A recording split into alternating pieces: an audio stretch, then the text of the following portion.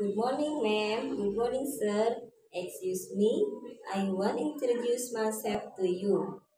I am Sri Susanti.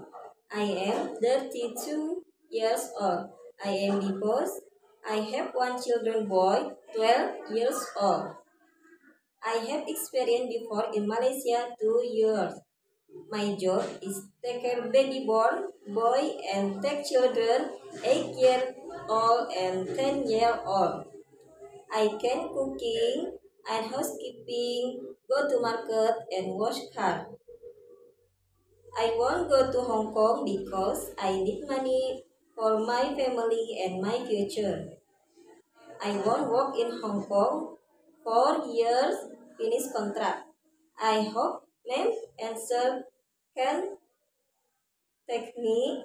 Thank you, ma'am. Thank you, sir. I finish introduce to you. Bye bye. See you in Hong Kong.